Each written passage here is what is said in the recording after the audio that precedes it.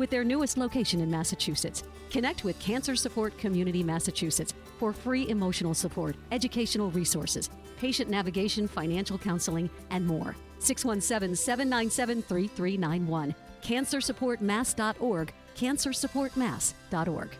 My name is Dottie. This is my VA story. My father served in World War II. He was my hero. As he got older, he needed more help. VA New England Healthcare was there for him and our family every step of the way. VA New England Healthcare offers unlimited healthcare options. The best part? It never cost our family a single penny. As a veteran, my father deserved the best, and so does a veteran in your life. My name is Dottie, and I choose VA. For more information, call 1 844 VA Cares or visit vacares.us.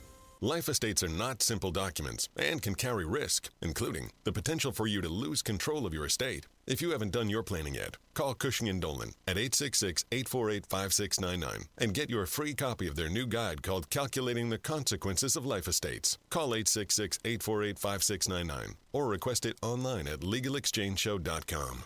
The proceeding was paid for and the views expressed are solely those of Cushing and Dolan. Cushing and Dolan and or Armstrong Advisory may contact you offering legal or investment services. Cushing and Dolan and Armstrong Advisory do not endorse each other and are not affiliated. Hi, this is Chuck and Mike from the Armstrong Advisory Group, and we have a guide available this month titled Understanding the Secure Act 2.0. Mike, one of the provisions in here allows individuals to actually move money from a 529 plan that was supposed to be used for college into a Roth IRA for the beneficiary of the 529. How does it work? Yeah, so this has been a common concern for parents out there is what if I over contribute to a 529 plan, then I've got a bunch of money stuck in this account that I really can't touch until maybe I have grandchildren or, you know, some other scenario and the Secure Act 2.0 uh, attempts to solve some of that here. They've already changed it so you can use it for uh, secondary education such as uh, private high school and things like that, but this is a specific provision that allows you to move money from a 529 plan to the beneficiary and in the form of a Roth IRA, so long as certain conditions are met. One,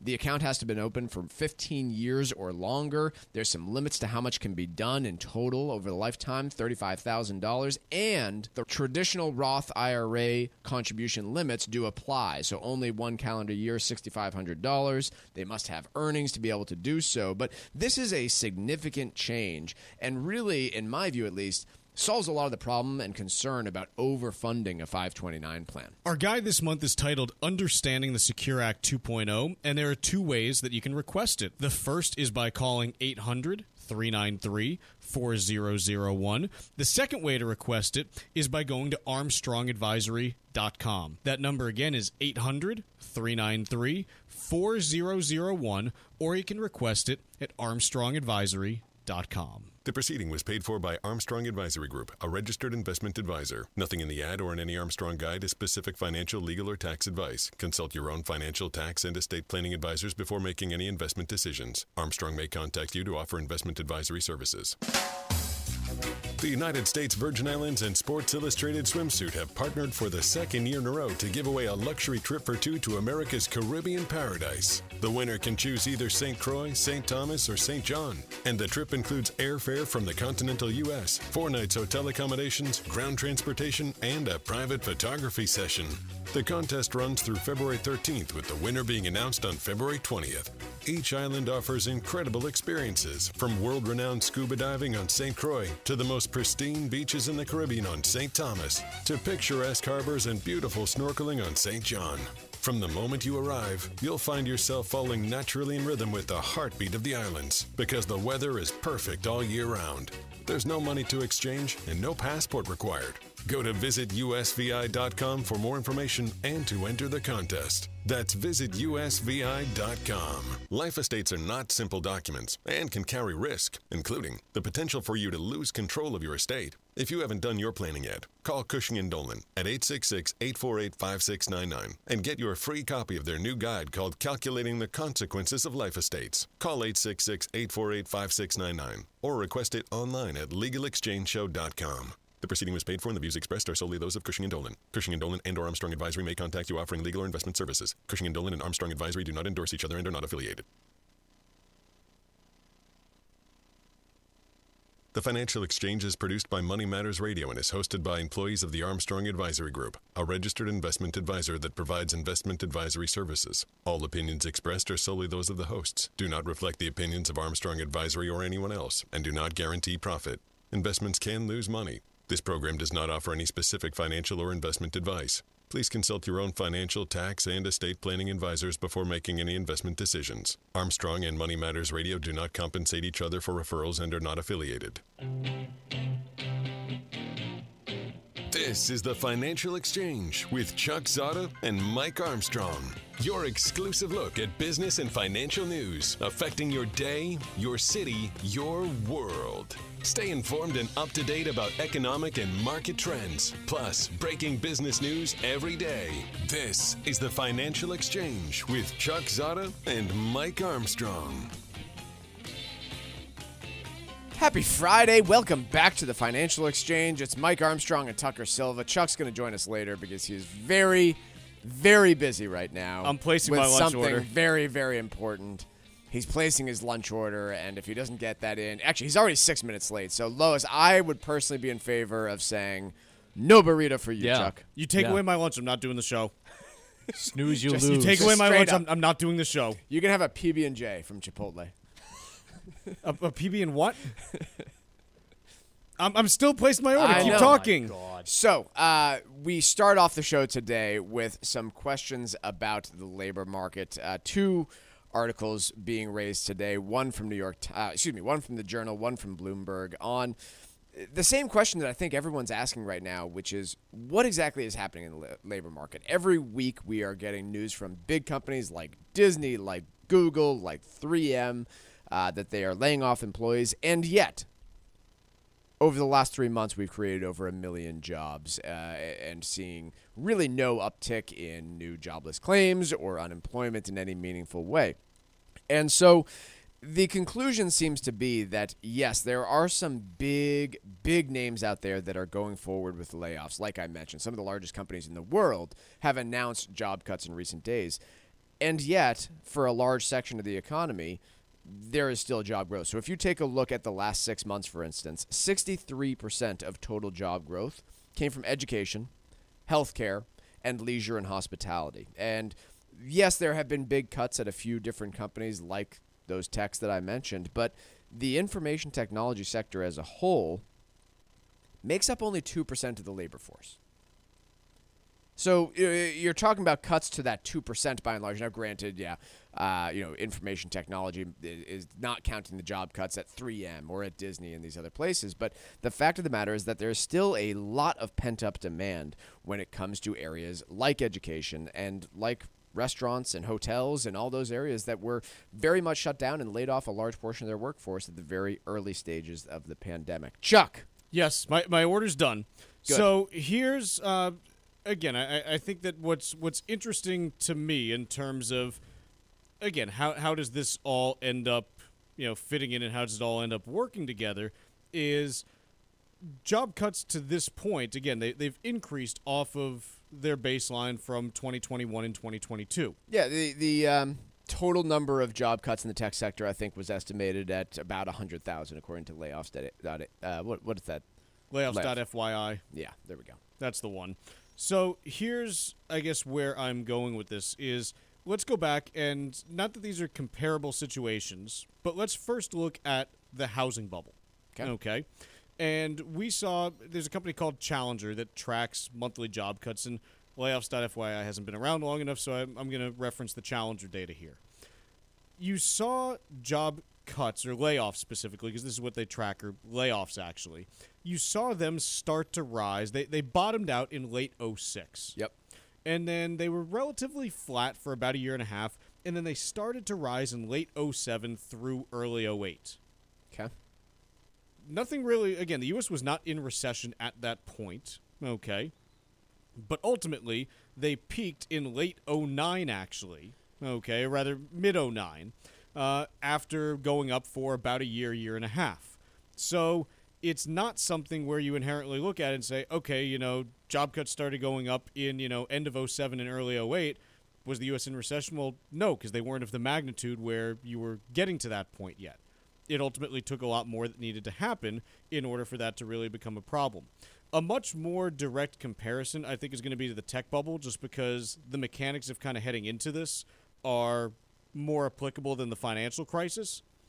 If we look at the tech bubble, you had multiple years of rolling layoffs, okay, that really started in early 2000, mm-hmm. okay? So they started in early 2000, but ultimately if you were to go and say, okay, that's that's all well and good, but how does that impact, you know, what we saw from a recessionary standpoint, okay? If you're talking about when did the US actually enter recession, it wasn't until March of 01. It was a year after those job cuts really started. Yeah, and I'll point out, you know, the unemployment rate in December of 2000, after what you said, layoffs had started, just kept going down. I mean, it was 3.9% at that stage. Likewise, unemployment rate in December of 2007, again, barely touching 5%. So this is this is normal in the early stages of a potential end of a business cycle. It's not to say that this is 100% the end of a business cycle, but th- there's a lot that's pointing to, you know, at some point in the next year or two, some chickens are going to have to come home to roost. But again, I, I think that this is this is why I say, hey, heading into just about every recession, there is a period where the soft landing looks possible mm-hmm. because unemployment has not yet started to rise and inflation is you know under control in this case. Inflation has not been a concern in the past two recessions that we've headed into but i, I think that ultimately this is it, it's normal to go through a period where you're like oh maybe it won't be that bad. I remember back in 07 just as an example okay? It was you know the, the latter part of 07 stocks continued to rise actually. Yep. and everyone was still talking about oh you know subprime this and subprime that but stocks were going up. And that's where you famously had uh, Ben Bernanke say you know hey subprime is contained. You know we, we, we've got this one that, that's the quote subprime is contained. Well it wasn't. Turned out okay not so much. so maybe you end up with a recession coming out of this in the next year or two maybe you don't. I happen to think there's a, a pretty good chance I, i'm on team 2024 recession now. Mm-hmm. Okay not 2023 at this point because the data's been stronger and you have to update for that. But ultimately there's still a chance that you get one this year. And there's always a point leading into recessions where you're like maybe it won't be that bad and then it, it ends up being that bad Yeah, the the bull the bullish case here, the soft landing case that I think you are hearing get made right now is look the layoffs. They have been largely concentrated in a specific sector of the economy, and I, I would go beyond tech here. I would say it's been relegated to areas of the labor force that were dramatically benefited by the pandemic. So, toy companies, tech companies, uh, homes, home workout equipment. It's remained relegated to those areas. Perhaps the layoffs will remain focused in those areas enough. The, the layoffs will be enough that they bring down total incomes on a gross level, thereby bringing down some layers of spending. Uh, maybe spooking some workers into believing that hey a big layoff is coming and not jumping to that next job demanding a higher wage and you know thereby controlling wage growth a little bit. And then you can move on from an economy that's you know the biggest concern has been inflation because that inflation eventually comes down. The you know the counterpoint to that is well that's never really happened. And that's, that's a very good counterpoint to, to Yeah. that argument right there is you know we're, we're banking on this soft landing and there's no real factual evidence of that having happened in our nation's history so i'm not going to call it impossible but it seems like a bit of a stretch So yeah, I- I, I think if you're trying to answer the question, hey, you know, are we in a period of you know higher layoffs right now? I mean, yeah, compared to the last two years, but they're, they're not historically high by any means. You're, you're not seeing anything uh, that is you know crazy or you know unprecedented or anything like that. And as Mike mentioned, they've been confined to this point to a really narrow segment of the U.S. economy. Again, so far in 2022 or 2023, you've seen about and again this is from layoffs.fyi it's where i'm getting this this information from you've seen about 100000 layoffs announced it's a lot it's, i'm not, I'm not trying to diminish that but currently there are north of 160 million people in the united states that have jobs 100000 layoffs is a drop in the bucket in the context of the overall size of the U.S. economy. You know what data I was trying to track down, Chuck, and maybe you can take a look and No, see if I you don't. have any way of finding it. Uh, the information sector makes up two percent of the labor force. I'm curious what portion of the total wages in the economy that makes up. Oh boy. All right, why don't we take a quick break and I'll try to figure that out and I'll let you know what I find when we come back. Uh, and then also, we'll talk a little bit about gee, is there going to be a recession this year or is growth actually rebounding? Coming up after this. Business and financial news affecting the markets and your wallet. We've got it all straight from Wall Street, right here on the Financial Exchange Radio Network. The United States Virgin Islands and Sports Illustrated Swimsuit have partnered for the second year in a row to give away a luxury trip for two to America's Caribbean paradise. The winner can choose either St. Croix, St. Thomas, or St. John. And the trip includes airfare from the continental U.S., four nights hotel accommodations, ground transportation, and a private photography session. The contest runs through February 13th, with the winner being announced on February 20th. Each island offers incredible experiences, from world renowned scuba diving on St. Croix to the most pristine beaches in the Caribbean on St. Thomas to picturesque harbors and beautiful snorkeling on St. John. From the moment you arrive, you'll find yourself falling naturally in rhythm with the heartbeat of the islands because the weather is perfect all year round. There's no money to exchange and no passport required. Go to visitusvi.com for more information and to enter the contest. That's visitusvi.com. The Secure Act became law in 2019, but a new bill has updated some key areas. As of January 1st of this year, it's time to take another look at how these changes may affect your financial situation. Hi, this is Chuck Zodda from the Armstrong Advisory Group. And whether it's the new age for required minimum distributions, how RMDs are affected if you have a Roth 401k account, or changes to catch up contributions to any employer sponsored retirement plan, we have a brand new guide called Understanding the Secure Act 2.0. This guide provides important information as to how any or all of these issues may affect your personal financial strategy. Call us right now at 800 393 4001 and request your free guide today. Or you can request it at armstrongadvisory.com. The proceeding was paid for by Armstrong Advisory Group, a registered investment advisor. Nothing in the ad or in any Armstrong guide is specific financial, legal, or tax advice. Consult your own financial, tax, and estate planning advisors before making any investment decisions. Armstrong may contact you to offer investment advisory services. This is Tucker Silva, and I'm joined today by estate planning attorney Todd Lutzke from the law firm of Cushing and Dolan with your financial exchange quick tip of the day. And today, we're talking about the use of life estates in your primary residence. Todd, what are the pitfalls associated with creating a life estate when you transfer the remainder interest to your children?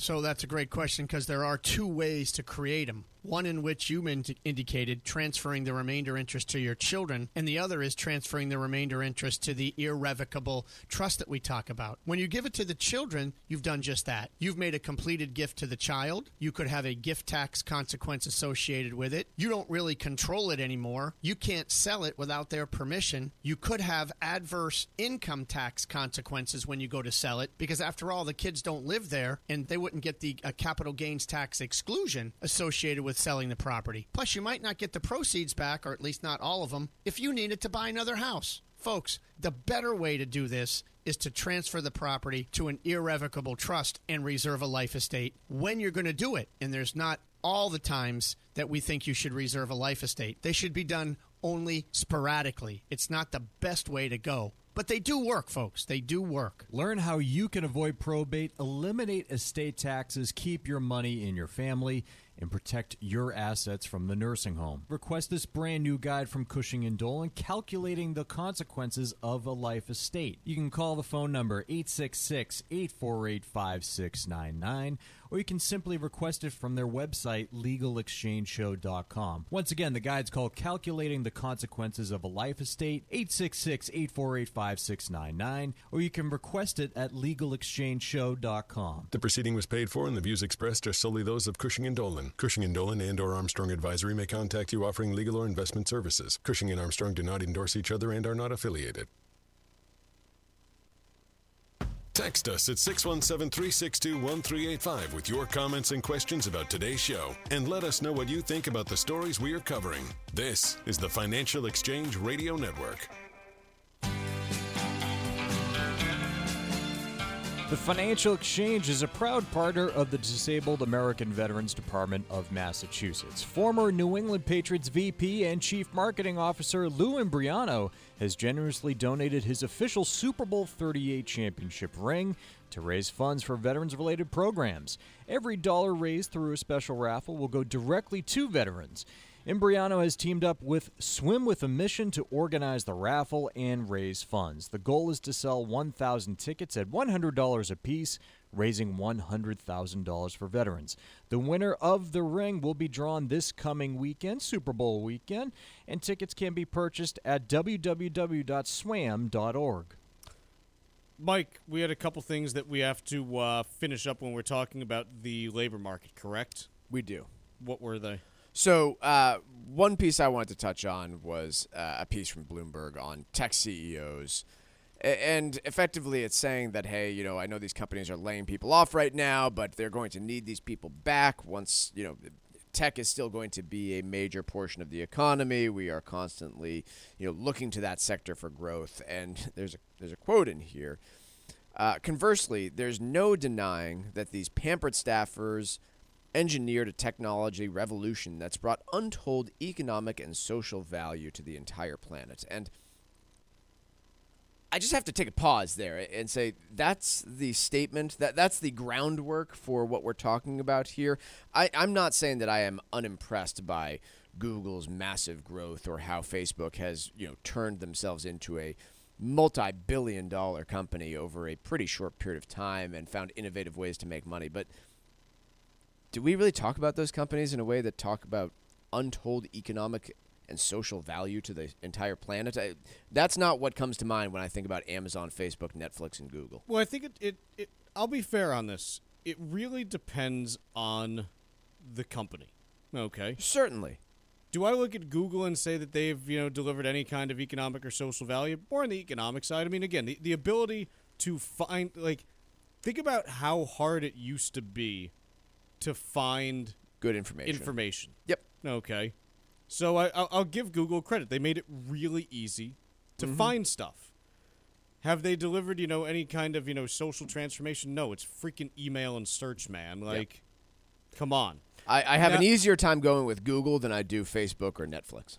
No, see, I would actually make the argument as distasteful as things on Facebook and Twitter can be.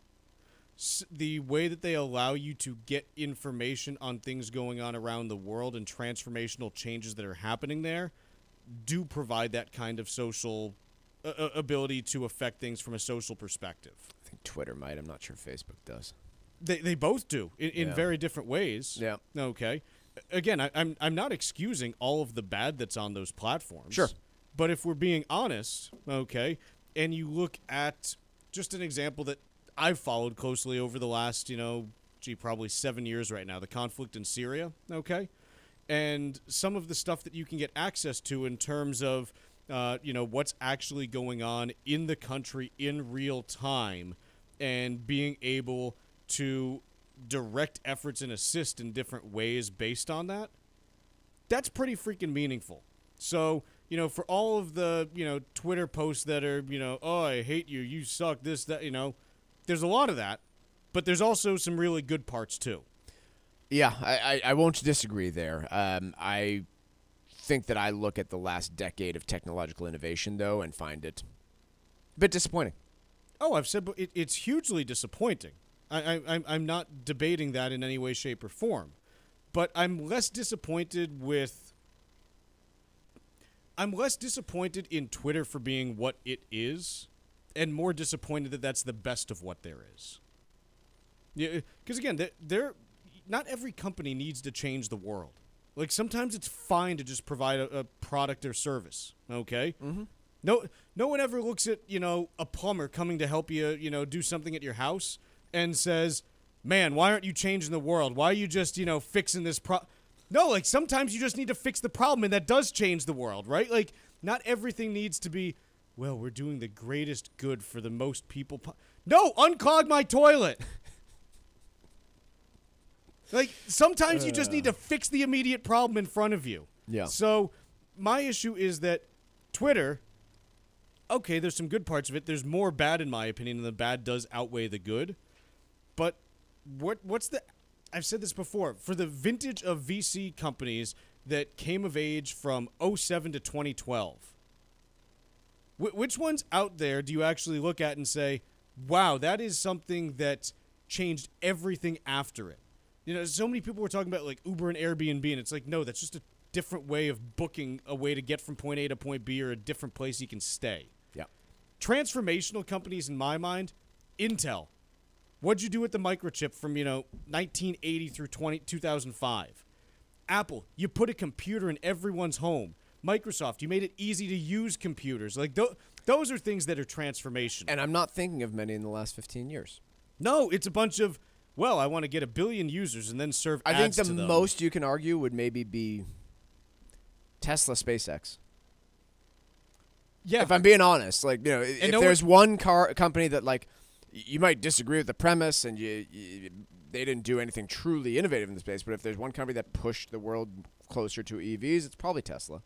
Yeah, and, and again, they're not even really considered a tech company, Yep. you know, by by most people. So I I just think, you know, what what are our best and brightest working on? It's too many disappearing pictures and not enough microchips. Or whatever's the next ver, you know, the Yeah. next microchip. It's too many hey, I got to, you know, build a streaming service and not enough hey, I figured out, you know, this way so that everyone can have a computer in their home. Yeah. It's it's, it's very underwhelming. You had asked me in our last segment, Mike, uh, about the IT sector, Yes. and it makes up two percent of U.S. employees. What percentage of wages does it make up? I don't quite have that, but I have something close. Okay.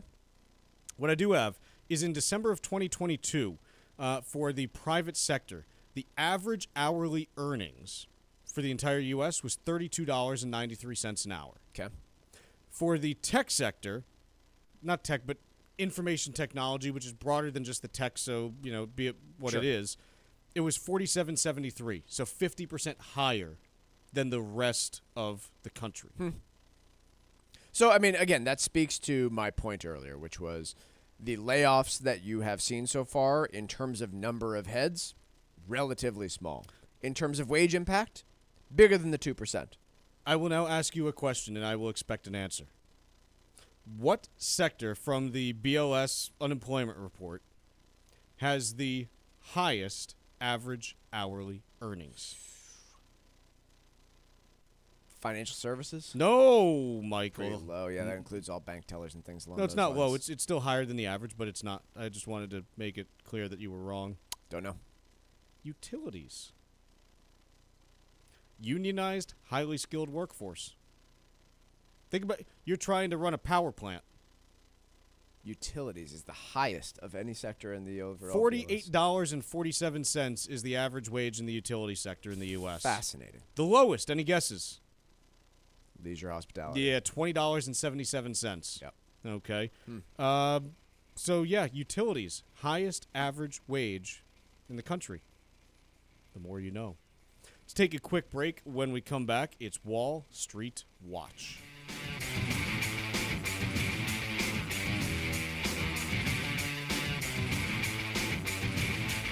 Like us on Facebook and follow us on Twitter at TFE Show. Breaking business news is always first, right here on the Financial Exchange Radio Network. Life estates are not simple documents, and while they can be beneficial in some cases, you should be aware of the many pitfalls in using them. There's the potential for you to lose control of your estate, a higher risk of income tax consequences, and hidden gift issues that can arise as well. If you haven't done your planning yet, now's the time to learn about the effects that life estates can have when it comes to protecting your assets. Call Cushing and Dolan today at 866-848-5699 and request their new guide called Calculating the Consequences of Life Estates. Don't leave your assets to chance. Call 866-848-5699 and get your free guide today. Cushing and Dolan have been helping New England families for more than 30 years. Let them help you too. Call 866-848-5699. or request the guide online at legalexchangeshow.com. That's legalexchangeshow.com. The proceeding was paid for and the views expressed are solely those of Cushing and Dolan. Cushing and Dolan and or Armstrong Advisory may contact you offering legal or investment services. Cushing and Dolan and Armstrong Advisory do not endorse each other and are not affiliated. The United States Virgin Islands and Sports Illustrated Swimsuit have partnered for the second year in a row to give away a luxury trip for two to America's Caribbean paradise. The winner can choose either St. Croix, St. Thomas, or St. John. And the trip includes airfare from the continental U.S., four nights hotel accommodations, ground transportation, and a private photography session. The contest runs through February 13th, with the winner being announced on February 20th. Each island offers incredible experiences, from world renowned scuba diving on St. Croix to the most pristine beaches in the Caribbean on St. Thomas to picturesque harbors and beautiful snorkeling on St. John. From the moment you arrive, you'll find yourself falling naturally in rhythm with the heartbeat of the islands because the weather is perfect all year round. There's no money to exchange and no passport required. Go to visitusvi.com for more information and to enter the contest. That's visitusvi.com. My name is Dottie. This is my VA story. My father served in World War II. He was my hero. As he got older, he needed more help. VA New England Healthcare was there for him and our family every step of the way. VA New England Healthcare offers unlimited healthcare options. The best part? It never cost our family a single penny. As a veteran, my father deserved the best, and so does a veteran in your life. My name is Dottie, and I choose VA. For more information, call 1 844 VA Cares or visit vacares.us. Life estates are not simple documents and can carry risk, including the potential for you to lose control of your estate. If you haven't done your planning yet, call Cushing and Dolan at 866-848-5699 and get your free copy of their new guide called Calculating the Consequences of Life Estates. Call 866-848-5699 or request it online at legalexchangeshow.com. The proceeding was paid for and the views expressed are solely those of Cushing and Dolan. Cushing and Dolan and or Armstrong Advisory may contact you offering legal or investment services. Cushing and Dolan and Armstrong Advisory do not endorse each other and are not affiliated. Hi, this is Chuck and Mike from the Armstrong Advisory Group, and we have a guide available this month titled Understanding the Secure Act 2.0. Mike, one of the provisions in here allows individuals to actually move money from a 529 plan that was supposed to be used for college into a Roth IRA for the beneficiary of the 529. How does it work? Yeah, so this has been a common concern for parents out there is what if I over contribute to a 529 plan, then I've got a bunch of money stuck in this account that I really can't touch until maybe I have grandchildren or, you know, some other scenario. And the Secure Act 2.0 attempts to solve some of that here. They've already changed it so you can use it for uh, secondary education such as uh, private high school and things like that, but this is a specific provision that allows you to move money from a 529 plan to the beneficiary and in the form of a Roth IRA, so long as certain conditions are met. One, the account has to have been open for 15 years or longer. There's some limits to how much can be done in total over the lifetime $35,000. And the traditional Roth IRA contribution limits do apply. So only one calendar year, $6,500. They must have earnings to be able to do so. But this is a significant change. And really, in my view at least, solves a lot of the problem and concern about overfunding a 529 plan. Our guide this month is titled Understanding the Secure Act 2.0, and there are two ways that you can request it. The first is by calling 800 393 4001. The second way to request it is by going to armstrongadvisory.com. That number again is 800 393 4001, or you can request it at armstrongadvisory.com. The proceeding was paid for by Armstrong Advisory Group, a registered investment advisor. Nothing in the ad or in any Armstrong guide is specific financial, legal, or tax advice. Consult your own financial, tax, and estate planning advisors before making any investment decisions. Armstrong may contact you to offer investment advisory services. Time now for Wall Street Watch. A complete look at what's moving markets so far today, right here on the Financial Exchange Radio Network. Time now for uh, Wall Street Watch. That's the name of the segment here on the Financial Exchange. And stocks are trading in mixed territory after yet another volatile ride yesterday that ultimately closed in negative territory as investors ready for next Tuesday's big inflation reading. At the moment, the Dow is up by just under a quarter percent or 63 points. S&P 500 is ticking higher by three points, and the NASDAQ is off by just over 30% or uh, 44 points. Russell 2000 is flat. 10 year chair 10 I can't talk today. 10 year treasury yield is up by 3 basis points at 3.71% and crude oil is up by 1.5%, trading at $79.23 a barrel. Adidas shares are down by 2% after the German athletic retailer cautioned yesterday it could swing a loss this year after the company terminated its Yeezy partnership with music artist Kanye West. The company said it anticipates a sharp fall in sales for 2023 due to the impact of not selling existing Yeezy inventory. Outside of Yeezy, Adidas is also battling issues with China's market and poor sales from a, a flagship collaboration with Beyonce. Meanwhile, online travel company Expedia reported fourth quarter earnings that missed expectations, citing a jump in cancellations and poor weather during the holiday season. Expedia did note travel demand remained strong despite inflation, and the company generated $2.62 billion in revenue, short of estimates of $2.7 billion. And that stock is down by 7% today.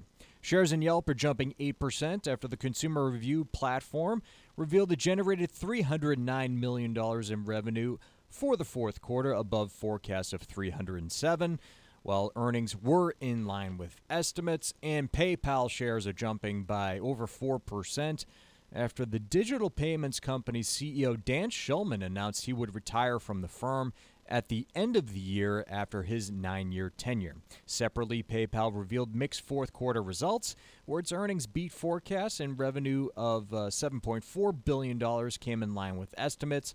However, its total payment volume for the fourth quarter came in below analyst forecasts. I'm Tucker Silva, and that's Wall Street Watch. Can I ask a legitimate question? Okay. Have you seen Have you seen the Yeezy foam runner shoes? Yeah. Yeah. Yeah. A. Why are these three hundred fifty dollars? They look like Crocs. Uh, Yeezy. B. Does anyone actually run in these? They look like running in flip flops. I, I, don't think they're really running I, shoes, yeah, I think, Michael. I, I think, what do you call them a runner for then? I, I, I think that they just have that in their name. It's kind of like how Air Jordan is not actually made out of air. I consider that a little bit different. That yeah, is that's much. to That's me. much different. Okay. Just want to make sure nobody's trying to run in these because it looks like a really good way to break an ankle. Do you think the Chevy Bolt is actually a lightning bolt? I I don't, but when I call a shoe a runner, that's a little bit different than calling a car a bolt. I disconcur. I was just I, I I couldn't even focus the whole segment. I was more concerned that a day after doing a whole segment on some of the most mispronounced names in you know business, Tucker can't call Adidas Adidas. No, We're not I- calling I'm Adidas not- Adidas. That I will not do. Good sir, Well, I will not We're do that. either we're going to call IKEA IKEA. yeah. It It's was not gonna happen. Ikea. That's exactly my point. Okay, I uh, I just you know uh, I This guess is I'll- America. If you don't like it, you can get out. find me, Kay. Get out. Whatever you want to say, Tucker. Uh, what's in the name anyway? Uh, let's talk a little bit about the U.S. economy, which we always do, but a little bit about where it's going this year. So, heading into this year, one of my major concerns, and I think a major concern for a lot of folks, was hey, is there going to be a recession in 2023? Hmm. And towards the end of 2022, I, I started to pivot away from this and towards the idea that yes, there are signs that you may get a recession at some point, but both U.S. and global growth appear to be rebounding, and as such, you may get that growth rebound that lasts for six to nine months before you end up getting that recession that maybe gets pushed out to 2024 here. Your thoughts, Mike? Well, the re- very recent data seems to be supporting that. So let's talk about some of those pieces of evidence. Uh, the biggest one that we've talked about was the jobs report on Friday of last week, as well as the last several jobs reports that have basically indicated that you know we are still in a hiring spree, and in fact, somehow it's easier to hire people today than it was perhaps three to six months ago. So there's some evidence there. Employers clearly still wanting to find employees, at least in most sectors of the economy. Uh, areas where you know would also indicate that the economy is not quite in a recession. Uh, housing seems to be a fair bit of demand for housing still. If you take a look at mortgage applications and things along those lines, there are indications that this could be a robust spring housing market. Lumber prices come down a little bit very recently, but you know through December and January, lumber prices were up. And then auto you know, sales have accelerated. auto last month. sales, used vehicle prices. Again, one month of data. So let's not jump to any conclusions here. But you know, when you take all of those together, It's. I, I think it's fair if it were just one month of data on one data set. sure, Then you look at it and say, well, we got to see more. When it's one month of home sales data, auto sales data, jobs data, gas prices, lumber price, when you add it all up, you say, oh, there's something that's happening broadly in the economy right now. That's something where you don't need the uh, the longitudinal, you know, the time, you know, effect. You don't need to see multiple time periods to say, yeah, there might be something that's going on right now. Now, oil prices have been range bound since mid-November. Uh, have not really gotten above 80 bucks a barrel. So Yeah. there's, you know, some contradictory evidence there to that to that story.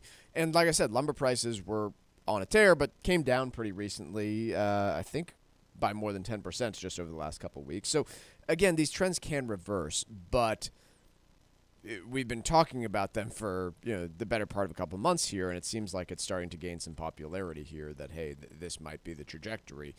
What does not seem to be getting interpreted, however, is that such a turnaround would result in higher interest rates by the Fed and more tightening by the Federal Reserve. I'm not sure. I mean, did you see what happened with rates in the last week? Where do we go? Ten years a little bit higher. 10 years Um, moved up by a quarter percent. Where are we on Fed funds futures? Uh, also moved up by a quarter percent in terms of the terminal rate. Okay. Like you've you've seen you know a little bit of movement on that side of things. So I think that in my opinion now, the bigger risk to the U.S. economy this year is a resurgence in inflation rather than a recession. I think both are possible, but I would be in the hey. 60% chance that you have, you know, higher inflation this year. 25% chance that you end up with a recession this year.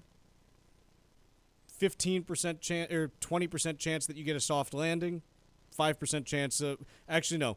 I'll go 0% chance of stagflationary hell this year. There's nothing right now that's pointing to a growth slowdown while inflation rebounds. Yeah. Yeah, It, it also raises an interesting question as to how markets respond to, you know, last year, equity markets responded to a Fed that had to basically quadruple their uh, rate increasing trajectory. They, they were planning on raising rates by three quarters of a percent. They raised rates by four and a half percent. Yes.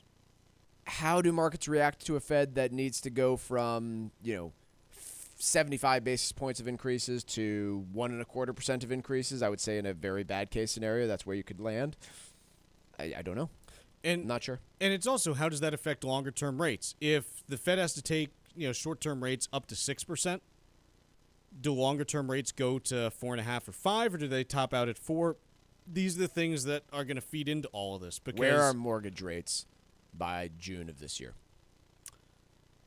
I, I think that's a pretty important question. and not even just mortgage. uh, uh, Think about it again. We've talked about this before, but for investors, okay, if you have the chance to go out and get a ten-year Treasury at four and a half percent, or buy a new property with a four and a half percent cap rate, do you want all the hassle of being a landlord to get the same thing you can get from the U.S. government for doing nothing? Long term, no.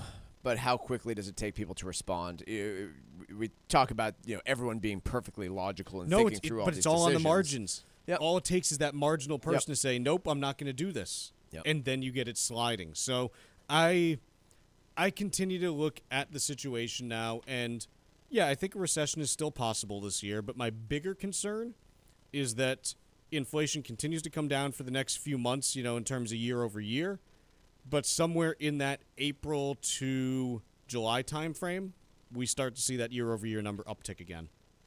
Let's take a quick break here, and when we come back, we're talking Lyft, going for a little bit of a uh, little bit of a slide today. It's it's a tough day for Lyft shareholders, and we'll tell you what's going on there. Watch the show every day on Twitch TV, Facebook, and our website, financialexchangeshow.com. We're breaking down the biggest business stories of the day only on the Financial Exchange Radio Network.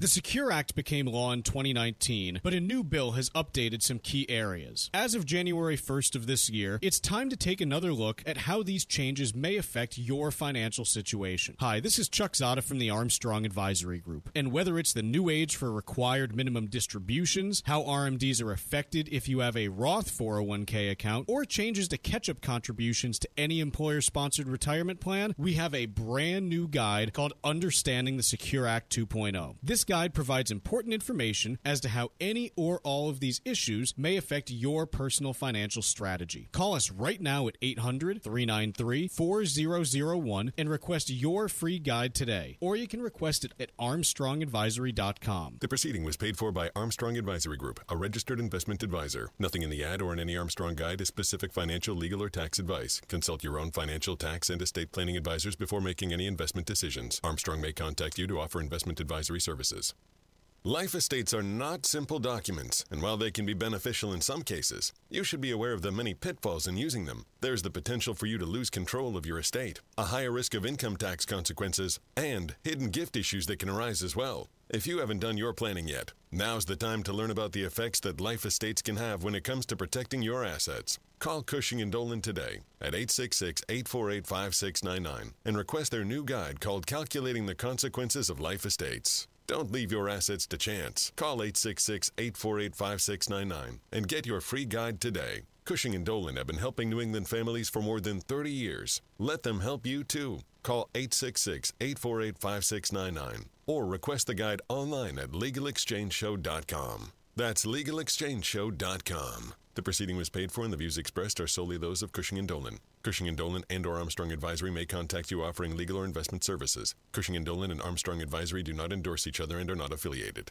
My name is Dottie. This is my VA story. My father served in World War II. He was my hero. As he got older, he needed more help. VA New England Healthcare was there for him and our family every step of the way. VA New England Healthcare offers unlimited healthcare options. The best part? It never cost our family a single penny. As a veteran, my father deserved the best, and so does a veteran in your life. My name is Dottie, and I choose VA. For more information, call 1 844 VA Cares or visit vacares.us. Life estates are not simple documents and can carry risk, including the potential for you to lose control of your estate. If you haven't done your planning yet, call Cushing and Dolan at 866-848-5699 and get your free copy of their new guide called Calculating the Consequences of Life Estates. Call 866-848-5699 or request it online at legalexchangeshow.com. The proceeding was paid for and the views expressed are solely those of Cushing and Dolan. Cushing and Dolan and or Armstrong Advisory may contact you offering legal or investment services. Cushing and Dolan and Armstrong Advisory do not endorse each other and are not affiliated.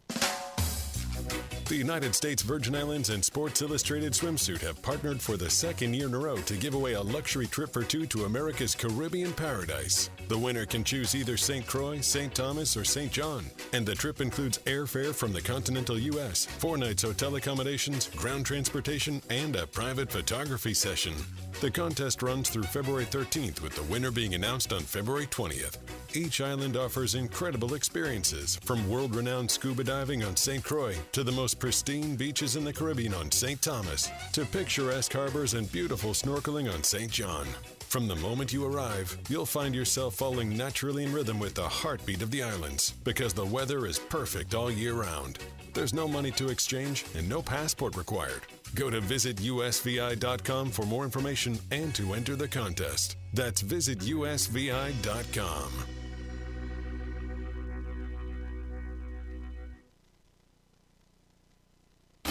Miss any of the show? You can catch up at your convenience by visiting financialexchangeshow.com and clicking the on demand icon where you'll find all of our interviews and full shows. This is your home for the latest business and financial news in New England and around the country. This is the Financial Exchange Radio Network. This segment of the Financial Exchange is brought to you in part by the U.S. Virgin Islands Department of Tourism. And right now, you can take advantage of a great promotion if you travel to St. Croix. Book any hotel for a minimum of five nights and receive at least a 10% discount on your stay. as well as a $200 air credit per person ages 16 and up. Use the code VIBE2023 when booking. Come to America's Caribbean Paradise. Go to visitusvi.com for more details and to book your trip. That's visitusvi.com. What, what are you pointing at, Michael? Nothing. Okay. Uh, Lyft shares plummeting today, down 35% after issuing disappointing guidance. The stock now trading at $10.46 a share. Shortly after its IPO, it was up near 80, so from its peak down about 87%. Uh, and even since its 2021 peak, where it got up around 66 bucks a share, you're talking still off, you know, 70, 82%, somewhere in that ballpark. So it just is a company that is really struggling right now, only worth about $3.8 billion in market cap.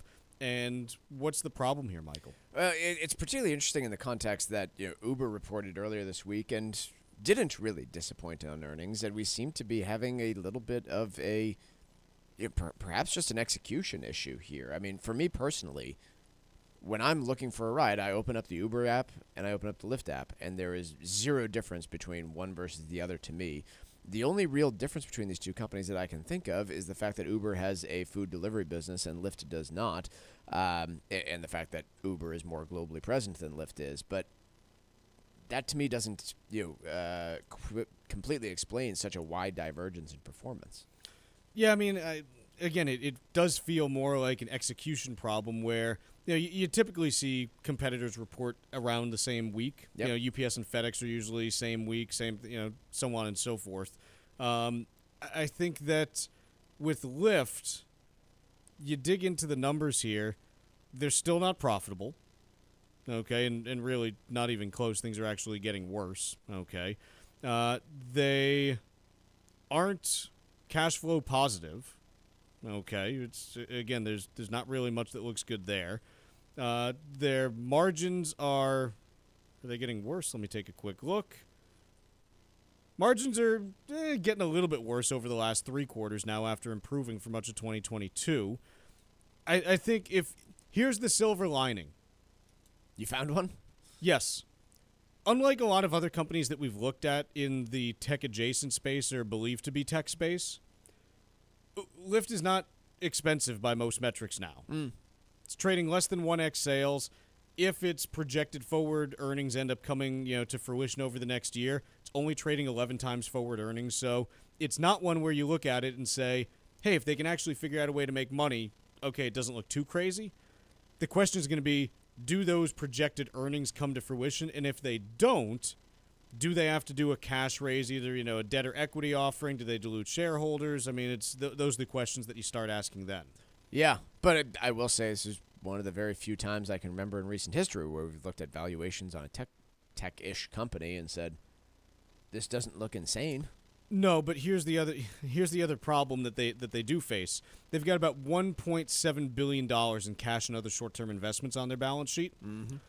Their cash flow, they're burning through around 250 million bucks a year right now. So, yeah, they don't necessarily need to do a cash raise right now, but again, like those are the real numbers where it's like, okay, forget all the accounting gimmicks. What do you actually have on hand and what are you spending? I just go back to. I mean, I haven't seen a Lyft commercial on TV in I don't know how long. No. I've never seen one.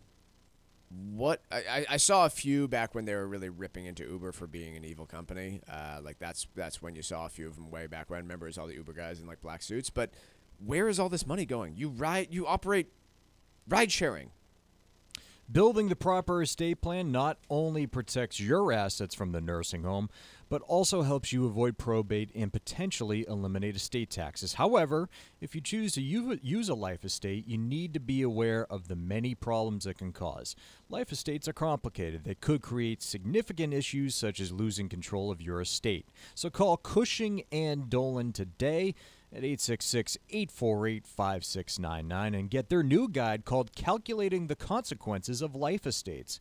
In it, you'll learn about strategies you can use to make sure that you create the right document for your estate plan. Call right now 866-848-5699 and re- request your free guide called Calculating the Consequences of Life Estates. 866 848 5699, or you can simply request it on their website at legalexchangeshow.com. The proceeding was paid for and the views expressed are solely those of Cushing and Dolan. Cushing and Dolan and or Armstrong Advisory may contact you offering legal or investment services. Cushing and Armstrong do not endorse each other and are not affiliated. Massachusetts has some of the highest child care costs in the country. I believe actually they're the highest cost state. The only uh, region that's higher is the District of Columbia, which of course is not a state. And the uh, governor indicating that she potentially wants to dedicate some resources to trying to fix the issue here. What are they talking about? I, I just before we even go there, I have to just point out that the average cost in Massachusetts, according to the Economic Policy Institute, is twenty thousand nine hundred thirteen. The next highest Is that as- a, is that per day? uh, no, that that's an average twenty thousand dollars per year. Okay. Um, the next highest, of course, California, is less than seventeen thousand dollars. What are we doing here in Massachusetts that makes it four thousand dollars a year more expensive to send your kid to child care in Massachusetts compared to California? It's got to be really good child care, right? What is happening? It's the best. What on earth? You, can't point to real estate. You can't point to labor costs. You can't point to the student to child ratio. No, California has all those ratio. things. It's got all the same things, and we are way more expensive. It is just hugely problematic. In terms of what they're talking about here, um, basically the point is that there are now a lot of people actually paying attention to this, but I don't see any real proposals coming out yet.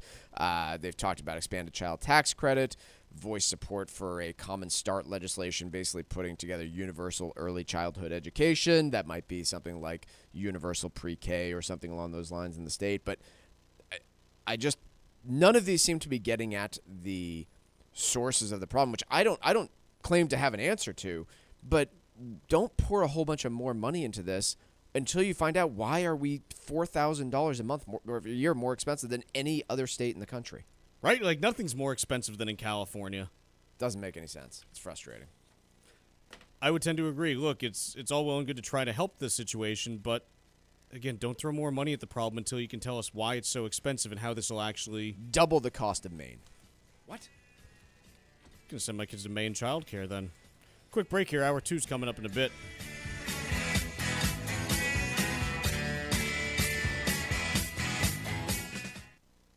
For 40 years, Cancer Support Community has been a relentless ally for anyone impacted by cancer, with free services provided online and in person, with their newest location in Massachusetts.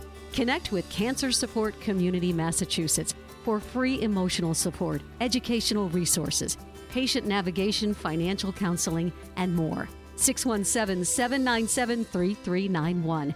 CancerSupportMass.org. CancerSupportMass.org. This is Tucker Silva with the Financial Exchange Show, and I'm joined today by estate planning attorney Todd Lutsky from the law firm of Cushing and Dolan with your quick tip of the day. And today we're talking about the use of life estates and your primary residence.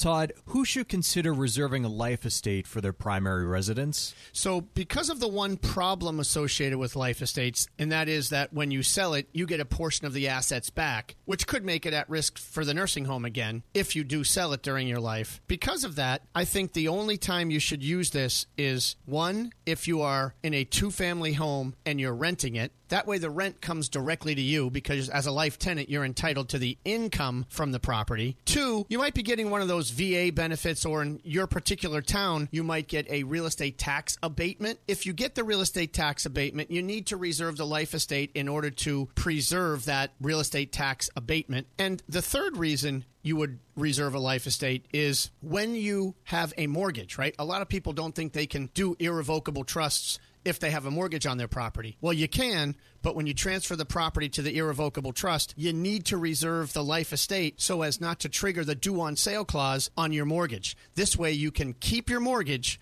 and still do your Medicaid estate planning. Learn how you can avoid probate, eliminate estate taxes, keep your money in your family, and of course, protect your assets from the nursing home. Request this brand new guide from Cushing and Dolan. It's called Calculating the Consequences of a Life Estate. You can call 866 848 5699 or you can request it from legalexchangeshow.com. Once again, 866 848 5699, or request the guide online at their website, legalexchangeshow.com. The proceeding was paid for, and the views expressed are solely those of Cushing and Dolan. Cushing and Dolan and/or Armstrong Advisory may contact you offering legal or investment services. Cushing and Armstrong do not endorse each other and are not affiliated.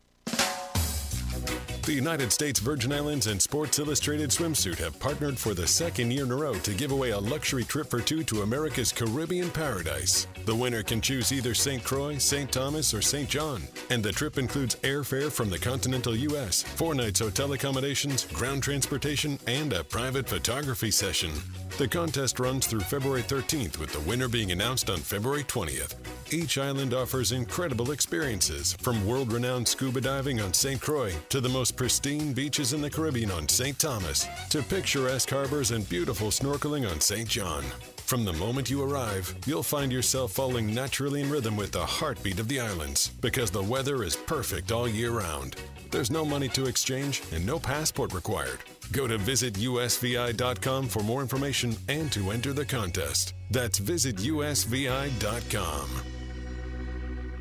This is the Money Matters Radio Network, WBNW 1120 AM and W275 CM FM, Concord, Boston. The Money Matters Radio Network. My name is Dottie. This is my VA story. My father served in World War II. He was my hero. As he got older, he needed more help. VA New England Healthcare was there for him and our family every step of the way. VA New England Healthcare offers unlimited healthcare options. The best part? It never cost our family a single penny. As a veteran, my father deserved the best, and so does a veteran in your life. My name is Dottie, and I choose VA. For more information, call 1 844 VA Cares or visit vacares.us.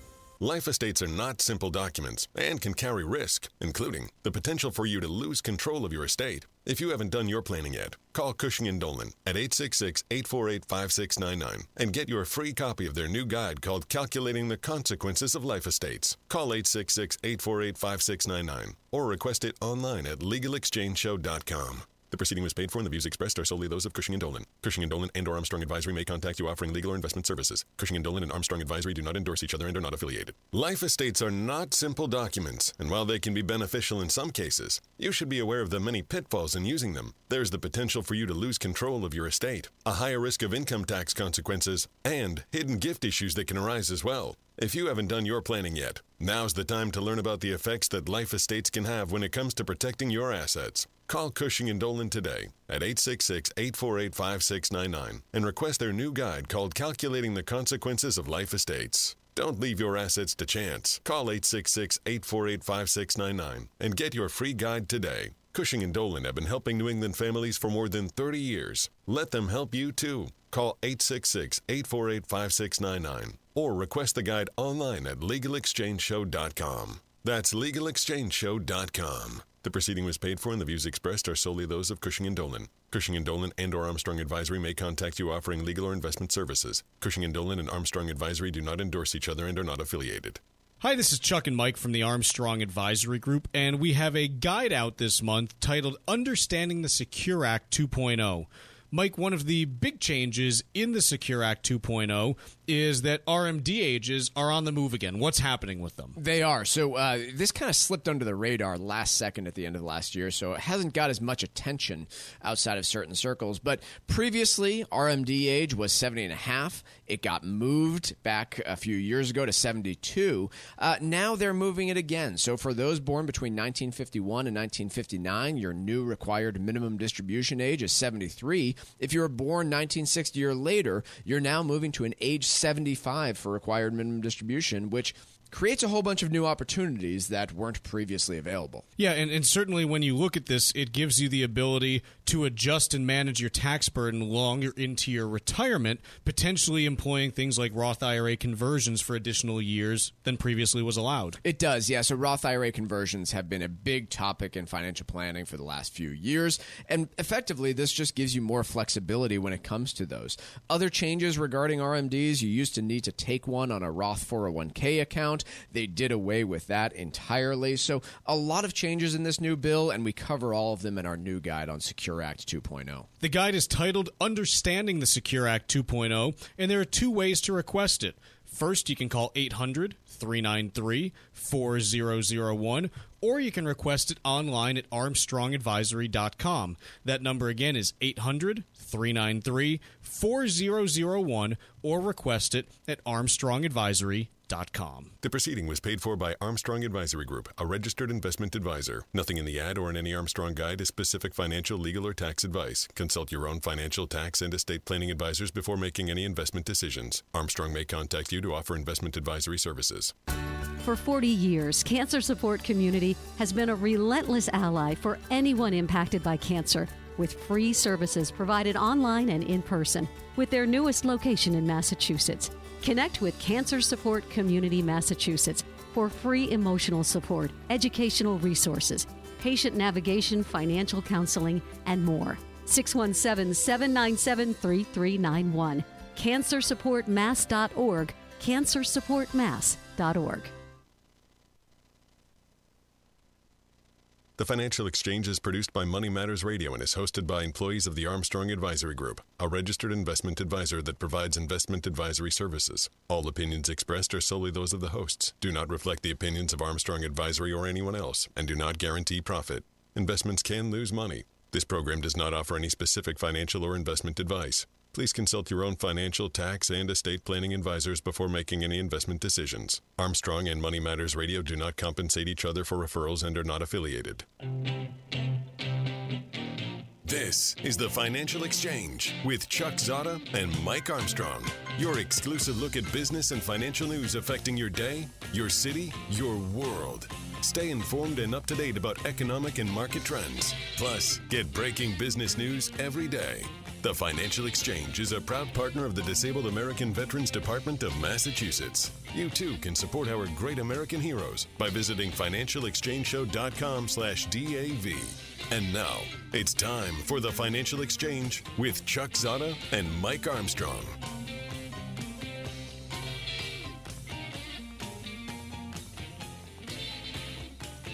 Well, as we wrap up what really was just kind of a, a boring week overall.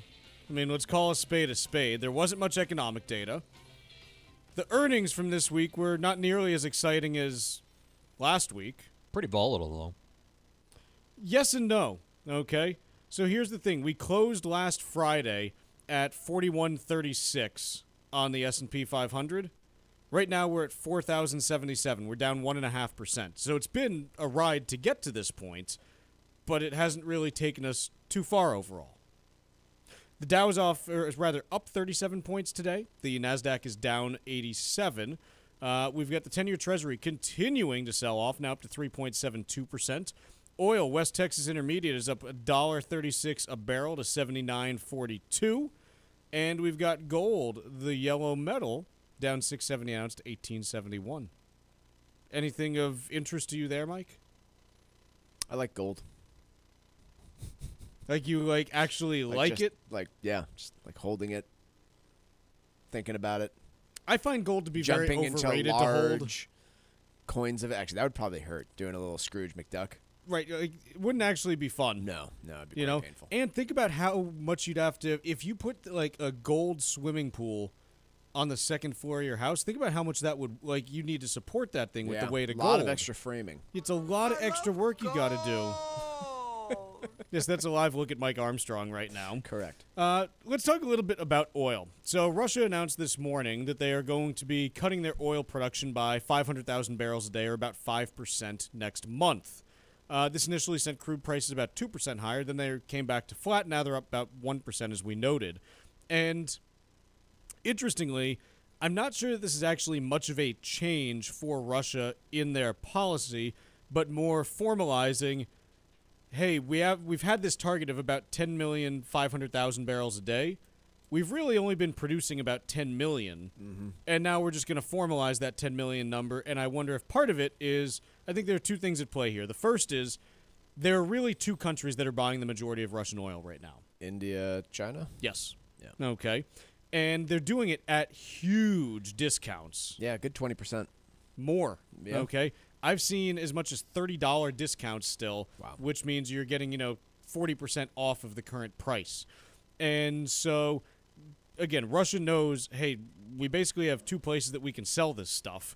And so I think part of it is okay, can we get that price up at all? But also, I think it's a tacit admission that, hey, without a lot of the European and U.S. technology and expertise to, you know, help just drill new equipment. wells, we might not be able to maintain production the way that we wanted to previously, anyways. And this gives us a way to at least kind of save face on it. I, was going to say what else you make of this in light of the uh, very fortunate winter uh, across all of Europe and, and, well, frankly, most of the globe that did not result in a whole lot of nat gas demand and you know the problems that were anticipated for Germany and others. Uh, If there's anything to take away from that when in, in regards to Russia's decision here, I, I suspect it's two different sides of a coin. Yeah, not, not much, just because Russia can't send gas to Europe anymore. Yep. Physically can't because the Nord Stream pipelines are blown up. Yep. They don't have pipeline infrastructure of that capacity running to the east, to China. They have long term contracts to supply China with a whole lot more nat gas, but right now, you, you can't just put nat gas in an oil pipeline. You know, Doesn't work that way. it, it's it Yeah. doesn't quite work that way. So ultimately, it's something where I, I don't know what kind of revenue they're getting on the nat gas side. Uh, uh, if you know, th- th- I'm sure there's some, but it's not much. So I don't know that I make too much of it, but I, I think that ultimately the economy of Russia is you know very dependent still on the fossil fuel industry, and they have a limited market to sell those products, and so they're having to sell discounts now. Yeah, it'll be interesting to see in 2023 and 2024 what sort of things start showing up in Russian production of all sorts of things. So Russian airlines, we talked about, right? You know, their ability to get parts to service their planes is going to be difficult. Uh, any sort of manufacturing in Russia is just going to be challenged based on a lack of global supply of anything you need to develop new pieces or you know just service your equipment even is going to be challenging and so we didn't see that breakdown in 2022 at all it hasn't been very long though 2023 2024 do you start to hear any of that sort of thing i suspect it might still take longer than that Let's talk about uh, the U.S. and China. The U.S. This is the headline from the Wall Street Journal. U.S. is poised to further tighten technology exports to China after balloon incident. So we're not going to be sending balloons to China anymore. I don't think they mean technolo- technology balloons, but uh, yeah, they're they're basically looking at the one area that they've already been looking at and saying we're going to tighten export controls further, semiconductors, uh, anything along those lines. My question would be, where else is there to tighten? We talked. Was it yesterday that we talked about how the U.S. and China had conducted the most trade ever in dollar terms last yeah. year? Yeah, that was yesterday. So, despite all of the tensions that are present right now, when you actually look at the amount of trade that's being conducted between the U.S. and China, it's at an all-time high. Mm-hmm. And so, the point that I'll make is that, look, you can make a balloon out of most anything.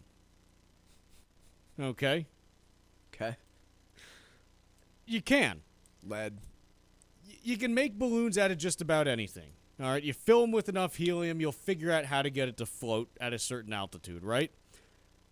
Unless you want to actually meaningfully shift the trade relationship between the US and China, you're not going to have the impact that you want on, you know, China being able to adapt other technology for military needs. You could certainly say, hey, we don't want our equipment falling into these hands, you know, Sure. spe- specific specific military equipment and stuff like that. But Well, then let's get outside of export controls for a minute here. Is this event enough to move the needle on something like TikTok or such as Chinese companies still publicly trading in U.S. markets? I mean, I would have killed TikTok a while ago. I would have too, but we're still sitting here debating it in Congress. We're talking about, oh yeah, can, can't be used on government uh, phones. Is this enough to kill it in the United States? Should be. I hope so. Should be. I mean, if if the goal is, hey, we're trying to Sorry, kids. restrict, uh, you know, the potential for espionage in our country. Okay, yeah, you can't go after a, a spy balloon. Like it's a pretty low tech piece of uh, thing that you're doing here. But let's go after the area that's been identified for years now as a potentially high risk for espionage, and go after that. Um, Right, public markets is a different story, but uh, again, I mean, if you're looking to go after things, prevent U.S. Uh, investment companies from pouring private equity money into Chinese companies. Uh, those are a couple actual ways to do it. Right, because again, the thing on all of this that you come back to is that money and goods to money more than goods, but money's fungible. Once it ends up in Chinese company A, if the Chinese Communist Party says, "Hey, company A, you have to give money to, you know, this military contractor in China," they're going to do it. Yep. So, there's no guarantee that your investment in a Chinese company stays where it, you know, where it was originally Started. made in, in in that respect. So, yeah, I mean, look, eh, as I've said, there when you look at the domestic political consumption for both China and the U.S., the winning outcome for politicians in both countries is to continue to be more hawkish towards the other one. And that is something that ultimately I do fear is going to push us towards the potential for a greater confrontation at some point. Uh, there's nothing that is present that can change that equilibrium right now. You can't just snap your fingers and say, "Okay, let's Right. let's try to cooperate more." I mean, again, it's it is what it is. So I, I think that we're heading towards more of these things, not necessarily balloons, but there's going to be something else. There's going to be something else, is where I think we're going. Let's take a quick break here. When we come back, we've got trivia, and then we're talking about retirement. For your chance to win our daily trivia contest, text us at 617 362 1385 and use keyword Encore. Complete rules are available at financialexchangeshow.com. This is the Financial Exchange Radio Network. The Secure Act was signed into law three and a half years ago, but as of January 1st of this year, there are some important changes that may affect retirees and those who might be planning to retire. This is Mike Armstrong from the Armstrong Advisory Group, and our new guide called Understanding the Secure Act 2.0 was written to help address these changes so that you can make the best decision for your financial situation. As an example, the RMD age will now be 73 through year 2032, and then beginning in 2033, it'll be pushed to age 75. This could affect your tax bracket and the amount you might have to pay over your lifetime. Learn more about the Secure Act 2.0 by requesting this brand new guide today. You can call us at 800 393 4001. That number again is 800 393 4001, or you can request it by visiting our website, armstrongadvisory.com. The proceeding was paid for by Armstrong Advisory Group, a registered investment advisor. Nothing in the ad or in any Armstrong guide is specific financial, legal, or tax advice. Consult your own financial, tax, and estate planning advisors before making any investment decisions. Armstrong may contact you to offer investment advisory services.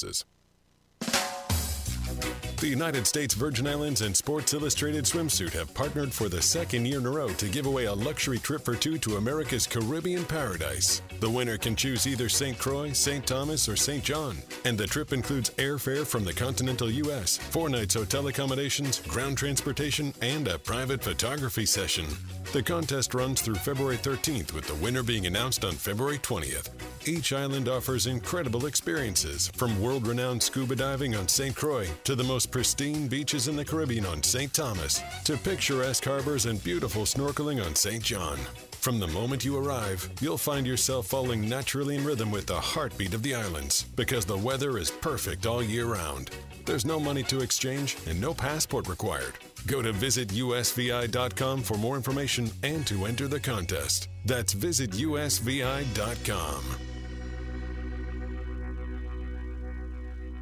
Life estates are not simple documents, and while they can be beneficial in some cases, you should be aware of the many pitfalls in using them. There's the potential for you to lose control of your estate, a higher risk of income tax consequences, and hidden gift issues that can arise as well. If you haven't done your planning yet, now's the time to learn about the effects that life estates can have when it comes to protecting your assets. Call Cushing and Dolan today at 866-848-5699 and request their new guide called Calculating the Consequences of Life Estates. Don't leave your assets to chance. Call 866-848-5699 and get your free guide today. Cushing and Dolan have been helping New England families for more than 30 years. Let them help you too. Call 866-848-5699 or request the guide online at legalexchangeshow.com. That's legalexchangeshow.com. The proceeding was paid for and the views expressed are solely those of Cushing and Dolan. Cushing and Dolan and or Armstrong Advisory may contact you offering legal or investment services. Cushing and Dolan and Armstrong Advisory do not endorse each other and are not affiliated. My name is Dottie. This is my VA story.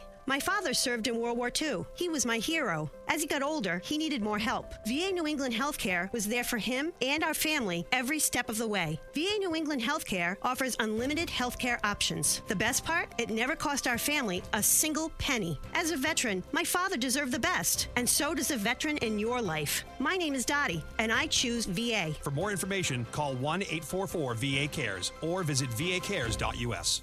Life estates are not simple documents and can carry risk, including the potential for you to lose control of your estate. If you haven't done your planning yet, call Cushing and Dolan at 866-848-5699 and get your free copy of their new guide called Calculating the Consequences of Life Estates. Call 866-848-5699 or request it online at legalexchangeshow.com. The proceeding was paid for and the views expressed are solely those of Cushing and Dolan. Cushing and Dolan and or Armstrong Advisory may contact you offering legal or investment services. Cushing and Dolan and Armstrong Advisory do not endorse each other and are not affiliated. This is your home for the most comprehensive coverage of the economy and the trends on Wall Street. This is the Financial Exchange Radio Network. Trivia is brought to you by Encore Boston Harbor. Visit EncoreBostonHarbor.com and see for yourself why Encore is a Forbes five star award winner for both hotel and spa. Well, the big game's almost here. On Sunday, the Chiefs will face the Eagles, and they'll battle it out to see which team is crowned champions in the NFL universe. Uh, sadly, there are many people out there who would rather watch 80 for Brady, which is a new movie uh, that's been making the rounds out there, uh, which Tom Brady does appear in. Our question today how many movies has Tom Brady appeared in? Once again, how many movies has Tom Brady appeared in? If you know the answer, be the, uh, let's go with uh, the seventh person to text us at 617 362 1385 with the correct answer, and you'll win a Financial Exchange Show t shirt and be registered to win a $100 gift card to Encore Boston Harbor. Be sure to include the keyword Encore in your text, and we'll give away the Encore gift card for this week in the next segment. 617 362 1385. In the seventh correct response will be our winner. See complete contest rules at financialexchangeshow.com. Is this like scripted films? It does it include like a documentary that no, maybe he's interviewed in? Film, like featured films. Okay. Yeah. No TV, no documentaries, featured films.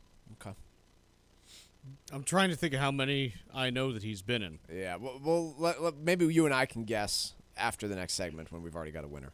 80 for Brady, by the way, did have the uh, did open in the top spot for the week of February 3rd to uh, 9th. Uh, again, it did uh, 17.8 million dollars. Could be the most profitable movie of 2020, 2023. I'm trying to get uh, some budget information on it to know what they uh, spent making it, but uh, can't imagine all that much. I bet more than you. Give me your guess. I, I actually have no idea like what a typical movie goes for without special effects. So I, Give me I, your guess. I have no idea. I, I know, but that's why I'm asking you to guess. I'm not asking you to give me the right number. I'm asking for a guess. Seventy million. 28. Okay. 28 million. So it's going to end up making money after, Yeah. you know, a couple weeks here.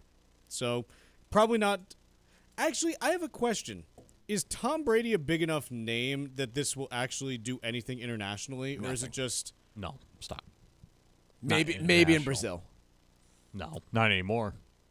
that's true? I, I guess I'm thinking in terms of you know Space Jam, big No. international numbers. No.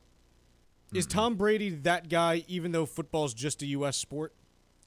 I think there's enough hostility towards American football that it will not do well overseas. Next question: Out of the 17 million dollars that it did, what percentage of that do you think was in New England? Oh, you've got that? No, I don't. Oh, I'm just asking how much you think was in New England. I'm going to say two thirds. it, it feels I, that might be light. Might be like 75 percent. No. I, I think. I think there's probably a lot of Florida. You think there's a lot of South Florida in there too? There- that's a big state, and a lot of New Englanders that now live there. Aside from those two states, No, three percent. Uh, let's talk a little bit about uh, retirement. So there's a piece in Bloomberg this week titled "How a Good Retirement Risks Becoming Just for the Privileged." Let's start first with uh, just establishing a standard here, Mike. What's a good retirement? I think we have to put it in financial terms if we're going to talk about Yeah, this what, what, what's no? Well, here here's my interpretation of a good retirement.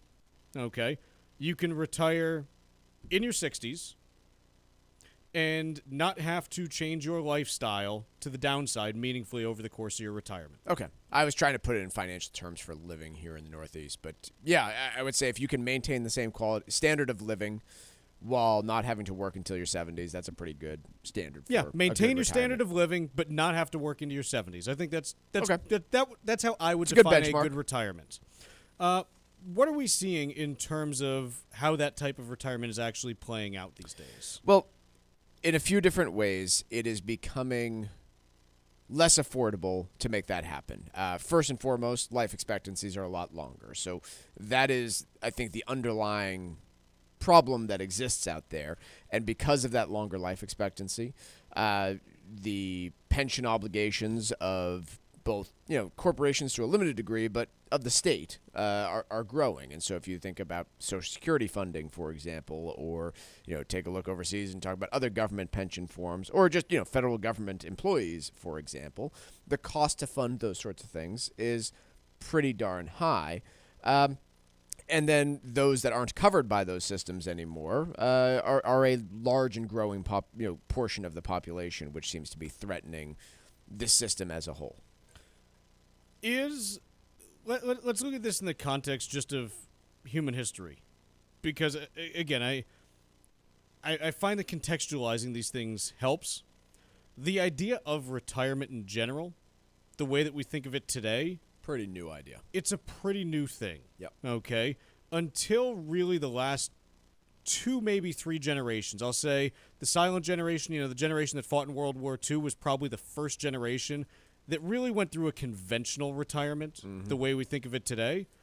Prior to that most people you look at like where they worked you know through you know 1920s 1930s 1940s either a in the latter part of that you're covered by you know a, a corporate pension and that's taking care of your retirement in most cases and before that most people didn't work for big companies and it was just hey you know i work at this store and my kid takes it over and i just don't do quite as much and i you know keep going into the store every day and you know still work and you know we the family makes income and it's family income it wasn't the same thing as it is today You want a really good future trivia question? tucker does The first person to ever receive Social Security. Ida May Fuller. Whew! She paid down. She paid in twenty seven dollars and thirteen cents, I think, and got twenty thousand plus out of it. Yeah, she uh, she received the first bad that I have ever that Social memorized? Security check. Imagine on knowing that answer. January thirty first, nineteen forty, uh, of Ludlow, Vermont. Yeah. Is that why you knew? No, I've looked it up before. Yeah. Uh, so in either case, what you're finding across the globe is there is tremendous and, and understandable, but tremendous uh, pushback to changing retirement ages, for example, or really any measure that would change the funding and system of retirement income across the globe. Uh, but it's widely accepted that, hey, this is going to be necessary.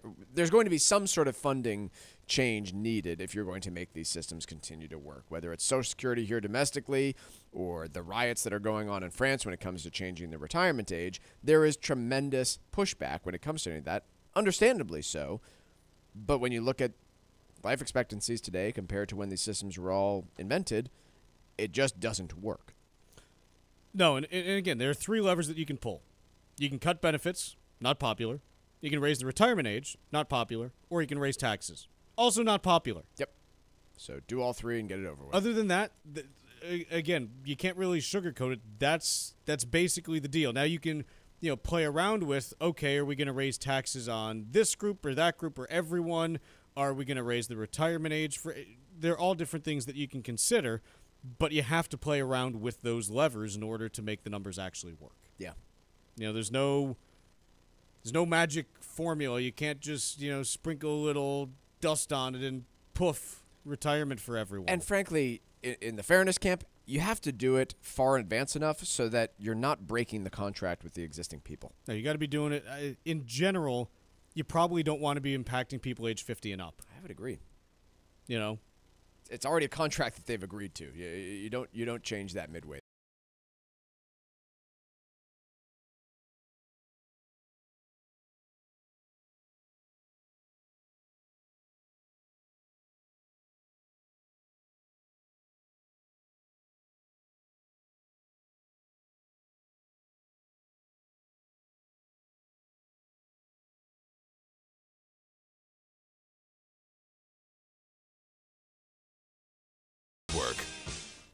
Building the proper estate plan not only protects your assets from the nursing home, but also helps you avoid probate and potentially eliminates estate taxes. However, if you choose to use a life estate, you need to be aware of the many problems it can cause. Life estates are complicated. They could create significant issues, such as losing control of your estate. Call Cushing and Dolan today at 866-848-5699 and get their new guide called Calculating the Consequences of Life Estates. In it, you'll learn about strategies you can use to make sure that you create the right document for your estate plan.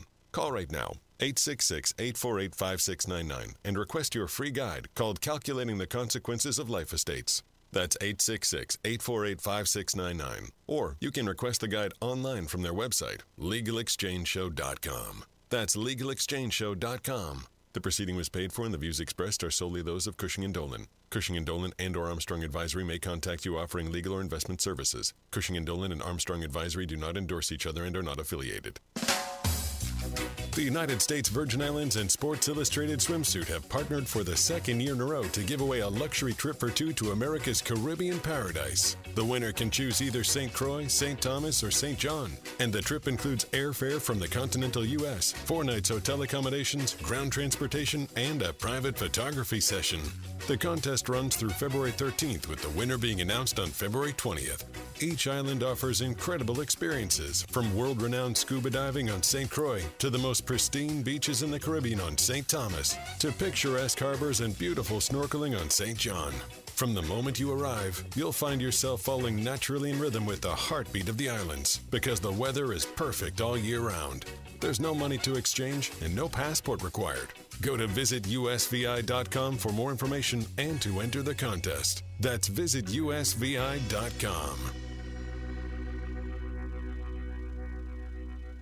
My name is Dottie. This is my VA story. My father served in World War II. He was my hero. As he got older, he needed more help. VA New England Healthcare was there for him and our family every step of the way. VA New England Healthcare offers unlimited healthcare options. The best part? It never cost our family a single penny. As a veteran, my father deserved the best, and so does a veteran in your life. My name is Dottie, and I choose VA. For more information, call 1 844 VA Cares or visit vacares.us. Life estates are not simple documents and can carry risk, including the potential for you to lose control of your estate. If you haven't done your planning yet, call Cushing and Dolan at 866-848-5699 and get your free copy of their new guide called Calculating the Consequences of Life Estates. Call 866-848-5699 or request it online at legalexchangeshow.com. The proceeding was paid for and the views expressed are solely those of Cushing and Dolan. Cushing and Dolan and or Armstrong Advisory may contact you offering legal or investment services. Cushing and Dolan and Armstrong Advisory do not endorse each other and are not affiliated. Hi, this is Chuck and Mike from the Armstrong Advisory Group, and we have a guide out this month titled Understanding the Secure Act 2.0. Mike, one of the big changes in the Secure Act 2.0 is that RMD ages are on the move again. What's happening with them? They are. So uh, this kind of slipped under the radar last second at the end of last year, so it hasn't got as much attention outside of certain circles. But previously, RMD age was 70 and a half. It got moved back a few years ago to 72. Uh, now they're moving it again. So for those born between 1951 and 1959, your new required minimum distribution age is 73. If you were born 1960 or later, you're now moving to an age 75 for required minimum distribution, which creates a whole bunch of new opportunities that weren't previously available. Yeah, and, and certainly when you look at this, it gives you the ability to adjust and manage your tax burden longer into your retirement, potentially employing things like Roth IRA conversions for additional years than previously was allowed. It does, yeah. So Roth IRA conversions have been a big topic in financial planning for the last few years, and effectively, this just gives you more flexibility when it comes to those. Other changes regarding RMDs, you used to need to take one on a Roth 401k account. They did away with that entirely. So, a lot of changes in this new bill, and we cover all of them in our new guide on Secure Act 2.0. The guide is titled Understanding the Secure Act 2.0, and there are two ways to request it. First, you can call 800 393 4001, or you can request it online at armstrongadvisory.com. That number again is 800 393 4001, or request it at armstrongadvisory.com. The proceeding was paid for by Armstrong Advisory Group, a registered investment advisor. Nothing in the ad or in any Armstrong guide is specific financial, legal, or tax advice. Consult your own financial, tax, and estate planning advisors before making any investment decisions. Armstrong may contact you to offer investment advisory services. If you missed any of today's show, catch up whenever you want on our YouTube page. Find daily show segments and full shows. Just go to youtube.com and search for the Financial Exchange. This is your home for breaking business and financial news. This is the Financial Exchange Radio Network.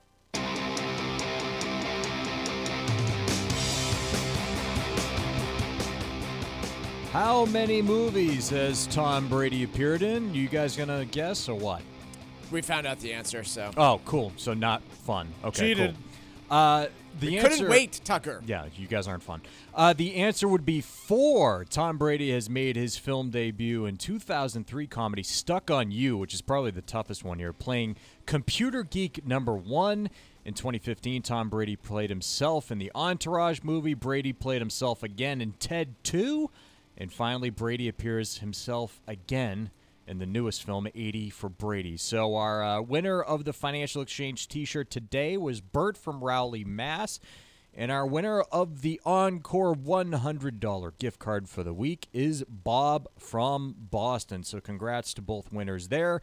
And trivia is brought to you by Encore Boston Harbor. Visit EncoreBostonHarbor.com and see for yourself why Encore is a Forbes five star award winner for both hotel and spa.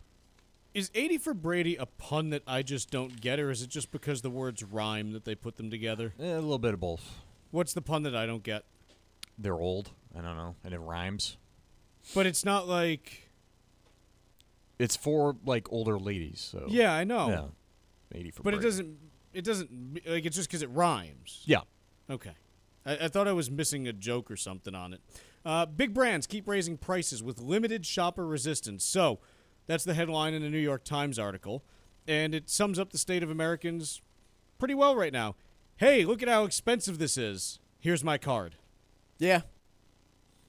It's been our behavior with cars for like a decade now, but uh, it, it is interesting to see that you know Pepsi, Unilever, Chipotle, all these companies have been dramatically raising their prices, and frankly, you haven't really seen much of a dip in sales.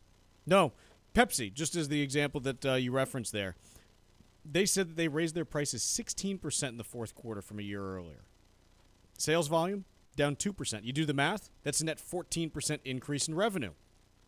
You're going to take that trade off all day. Sell less stuff and make more money? Fine, that's like they're, happy to do that. The question in, in all of this becomes when does that break that you can't raise those prices anymore? Why are wages not going up by sixteen percent? They're not.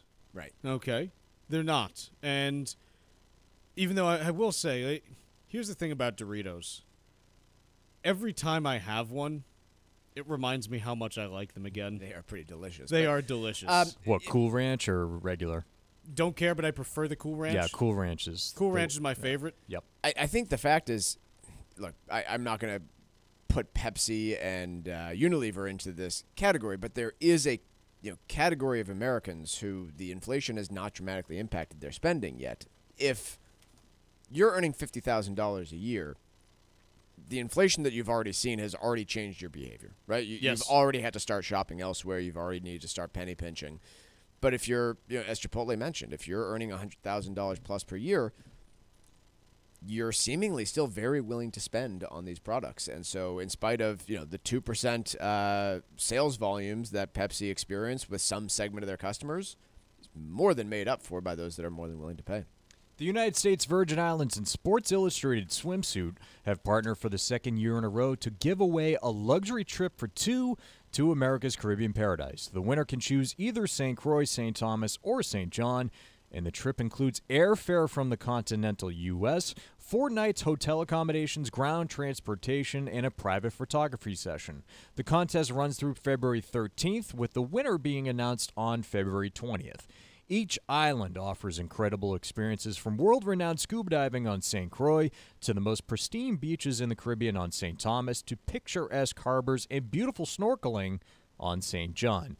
From the moment you arrive, you'll find yourself falling naturally in rhythm with the heartbeat of the islands because the weather is perfect all year round. There's no money to exchange and no passport required. Go to visitusvi.com for more information and to enter that contest visit that excuse me go to visitusvi.com that's visitusvi.com Mike, are you a big cauliflower fan?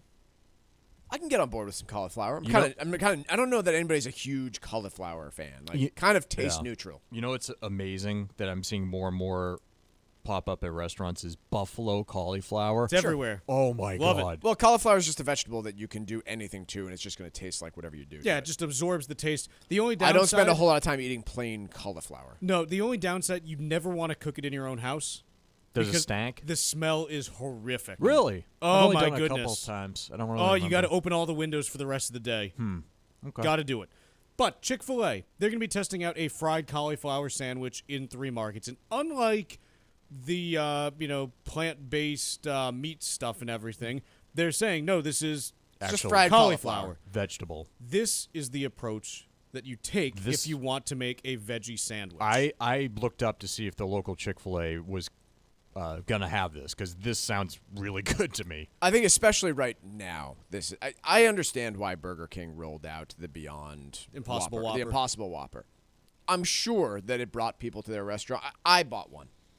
That was at the beginning stage. Yeah. You do not do that and make a big splash right now about that. You go do something boring like cauliflower and just have a new vegetarian sandwich that's just cauliflower. I think Right. most vegetarians can get on board with that. I think they're on to something here. yeah, and, this and- is gonna catch on. And honestly, even again, I fried cauliflower, you throw a little buffalo sauce on there, it's freaking delicious. Absolutely. Well, I mean, again, if if I'm going to have Chick Fil A, I I think that generally speaking, the cauliflower Chick Fil A is only marginally better for me than the chicken Chick Fil A. So Oh, I'm yeah. probably going to still stick with the chicken Chick Fil A. But I can appreciate them doing this more than an impossible slice of chicken or a, a beyond fake meat chicken. I I just just fry a vegetable. Yeah, still just, tastes pretty good. Just fry a veggie. Call it a day. You can deep fry anything, yeah. Mm-hmm. Uh huh. Uh huh. almost anything. Not in my house. I'm not gonna do that. You got a deep fryer? No.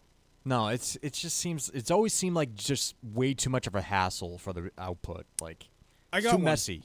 I uh, we You have a deep fryer? yeah we we Of course you'll, you do. You'll appreciate this. We we registered for one for our wedding. My 96 year old grandfather at the time got it for us. Nice. So we we've used it maybe a dozen times since then. You know, it's it's not something that you pull out every week because it Well, does get messy. There's a lot of cleanup.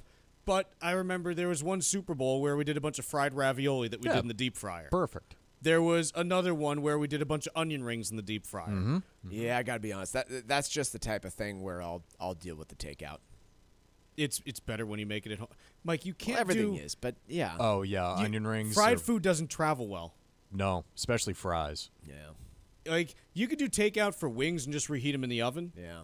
You want, you know, something that pops that you're frying. Mm. You got to make it at home. Okay. Well, uh, you haven't convinced me yet, Chuck. There's nothing worse than takeout French fries that just get super soggy in the in the clamshell styrofoam box. Mm-hmm. Like it just results in so much condensation and it kills the fry. It kills my French fry. I'll tell you what. I feel like since the pandemic, a lot of takeout French fries have gotten much better because companies realized that that's how people were, you know, ordering for uh, th- those orders increased. And I don't know.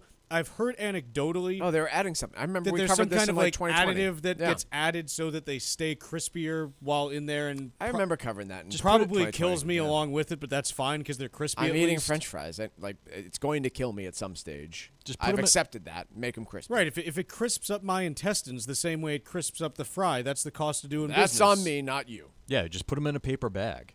It, it's as simple as that. It- it's no need to stuff it in the clamshell styrofoam. Yeah, the styrofoam is what does it, isn't it? Nope. Yep. Absolutely. Yeah. Let's take a quick break. When we come back, we're going to be joined by Paul LaMonica from CNN Business. We're talking artificial intelligence with Paul. The latest news on inflation and how the markets are reacting every morning, right here on the Financial Exchange Radio Network. Life estates are not simple documents, and while they can be beneficial in some cases, you should be aware of the many pitfalls in using them. There's the potential for you to lose control of your estate, a higher risk of income tax consequences, and hidden gift issues that can arise as well. If you haven't done your planning yet, now's the time to learn about the effects that life estates can have when it comes to protecting your assets. Call Cushing and Dolan today at 866-848-5699 and request their new guide called Calculating the Consequences of Life Estates. Don't leave your assets to chance. Call 866-848-5699 and get your free guide today. Cushing and Dolan have been helping New England families for more than 30 years. Let them help you too. Call 866 848 5699 or request the guide online at legalexchangeshow.com. That's legalexchangeshow.com. The proceeding was paid for and the views expressed are solely those of Cushing and Dolan. Cushing and Dolan and or Armstrong Advisory may contact you offering legal or investment services. Cushing and Dolan and Armstrong Advisory do not endorse each other and are not affiliated. The Secure Act became law in 2019, but a new bill has updated some key areas. As of January 1st of this year, it's time to take another look at how these changes may affect your financial situation. Hi, this is Chuck Zodda from the Armstrong Advisory Group. And whether it's the new age for required minimum distributions, how RMDs are affected if you have a Roth 401k account, or changes to catch up contributions to any employer sponsored retirement plan, we have a brand new guide called Understanding the Secure Act 2.0. This guide provides important information as to how any or all of these issues may affect your personal financial strategy. Call us right now at 800 393 4001 and request your free guide today. Or you can request it at armstrongadvisory.com. The proceeding was paid for by Armstrong Advisory Group, a registered investment advisor. Nothing in the ad or in any Armstrong guide is specific financial, legal, or tax advice. Consult your own financial, tax, and estate planning advisors before making any investment decisions. Armstrong may contact you to offer investment advisory services. The United States Virgin Islands and Sports Illustrated Swimsuit have partnered for the second year in a row to give away a luxury trip for two to America's Caribbean paradise. The winner can choose either St. Croix, St. Thomas, or St. John. And the trip includes airfare from the continental U.S., four nights hotel accommodations, ground transportation, and a private photography session. The contest runs through February 13th, with the winner being announced on February 20th. Each island offers incredible experiences, from world renowned scuba diving on St. Croix to the most pristine beaches in the Caribbean on St. Thomas to picturesque harbors and beautiful snorkeling on St. John. From the moment you arrive, you'll find yourself falling naturally in rhythm with the heartbeat of the islands because the weather is perfect all year round. There's no money to exchange and no passport required. Go to visitusvi.com for more information and to enter the contest. That's visitusvi.com. My name is Dottie. This is my VA story. My father served in World War II. He was my hero. As he got older, he needed more help. VA New England Healthcare was there for him and our family every step of the way. VA New England Healthcare offers unlimited healthcare options. The best part? It never cost our family a single penny. As a veteran, my father deserved the best, and so does a veteran in your life. My name is Dottie, and I choose VA. For more information, call 1 844 VA Cares or visit vacares.us. Life estates are not simple documents and can carry risk, including the potential for you to lose control of your estate. If you haven't done your planning yet, call Cushing and Dolan at 866-848-5699 and get your free copy of their new guide called Calculating the Consequences of Life Estates. Call 866-848-5699 or request it online at legalexchangeshow.com. The proceeding was paid for and the views expressed are solely those of Cushing and Dolan. Cushing and Dolan and or Armstrong Advisory may contact you offering legal or investment services. Cushing and Dolan and Armstrong Advisory do not endorse each other and are not affiliated. Text us 617 362 1385 with your comments and questions about today's show. This is the Financial Exchange Radio Network. Ladies and gentlemen, the weekend. The Financial Exchange is proudly partnered with VA New England. If you or a loved one serve this country, get the health benefits you earned and deserve. Call 844 VA Cares. That's 844 VA Cares. As promised, we're now joined by Paul LaMonica from CNN Business, talking a little artificial intelligence with us. Paul, how are you today? I'm good, thanks. And this is actually me, not not a bot. Is there any truth to the rumor that you are going to be rolling out your LaMonica bot anytime soon? Oh my, the LaMonica bot would be uh, uh, a heavy lift. Although actually, probably I wouldn't. It would just be, you know, cheesy sports and 70s and 80s music references. So. Uh, how hard could that be? It's all good for us. That works for us. There you go. So AI has been really kind of over the last two months, kind of building to a crescendo seemingly this week in terms of the conversation. And I mentioned on, I think it was our Wednesday show, it, it's starting to get that vibe of crypto where just everyone's like putting AI in their name and this and that. Are, are we starting to see the hype outpace reality now?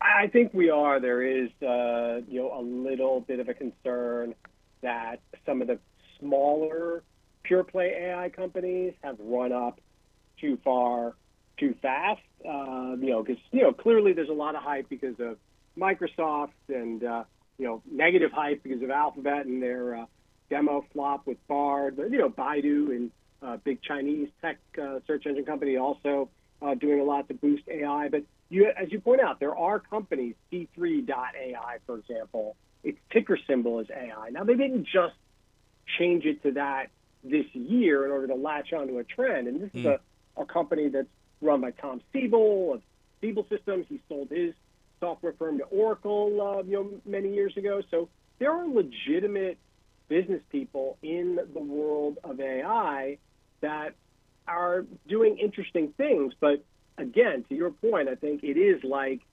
crypto. It's like the dot com boom of the late 90s, early 2000s that investors may be getting a little overboard because they see AI in a name. And, you know, these companies, the smaller ones at least, they're not profitable yet. You know, a company like C3, uh, SoundHound AI, which I mentioned, a speech and audio recognition software firm, not yet profitable, Big Bear, Dot AI. Uh, you know, they work with uh, a lot of uh, artificial intelligence for government agencies. These are legitimate businesses, but they're startups that are growing rapidly on the revenue side, but not yet profitable. Paul, we've been hearing about artificial intelligence for a while now. Why is this set of technology at this time capturing, you know, the public's imagination in a way that things over the last 3 to 5 years did not? Yeah, I think that Chat GPT is something that really surprised people by how relatively good it is. That the software churns out things that are more natural sounding than some of these bot driven. I mean, I know not to denigrate some of my competitors, but there are some news outlets that have been using artificial intelligence, and you read these stories and you wonder, you know, where was the artificial editor to try and inject some life into this really boring, bland prose that the bot churned out. But it's getting better, and ChatGPT is a perfect example of that. So I think people realize that, like any technology, there are going to be missteps. Look at what happened to Alphabet this week. The stock's gotten crushed because they had a mistake in one of their demos where the AI tool said something that wasn't true. These are still the early stages. These these uh, technologies are going to be far from perfect anytime soon, but people understand that there's a lot of promise. With it being the early stages, the other thing that I come back to is that for most people, we don't have the technological know-how to understand which one of these is inherently better than the other and which ones may end up, you know, fading out. So it's challenging as an investor to look at them and say, yes, this is the one that I'm going to bet on because we don't really know. Is that fair to say? Yeah, I think that is fair to say. I mean, the, the companies are all that are in the AI, the smaller AI focused companies are all in different parts of the business. They could all continue to uh, you know uh, add a, a revenue at a decent clip, but will they ever become profitable?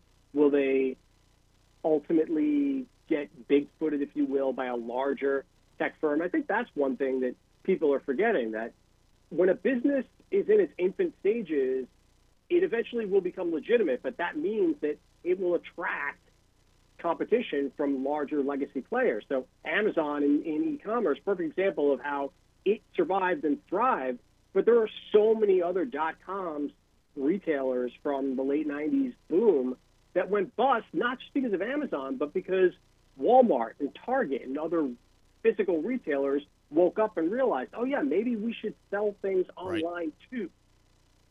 Paul, we appreciate you joining us today. Have a uh, fantastic weekend. I'm guessing that you're not pulling for the Eagles? You are correct. The only time this Giants fan rooted for the Eagles was the the Philly special Super Bowl because of Ugh. your team being uh, kind of the evil empire. But I like the Chiefs. I like Mahomes, like Reid. So sorry, going to be going for the Chiefs. I'm actually on Team Eagles for this one. I gotta say, I, uh, I, I just, I, I don't know why, but uh, We'll see. We'll, we'll, we'll get to chat about it next week, Paul. Take to this. Take this to the bank. A Kelce brother is going to end Sunday night with two rings. Um, again, I know a lot has been written about this, but imagine being their mom and having to Yeah. watch that. Like, ugh, just absolutely brutal. Paul, thanks again Yeah, for 'cause joining they, us. they both won one, so you can't like say, "Oh, well, I'm rooting for the other one because he hasn't won." You know? Yeah, yeah, that's true. Just whoever you love most. Yeah. Paul, thanks again for joining us. Appreciate it. Have a good one, guys. Enjoy the weekend. That is Paul Monica from CNN Business. Mike, what do you got for me? Uh, CEO of Disney, Bob Iger, pulling a 180 on Hulu, uh, at least compared to where Chapek was just a few months ago.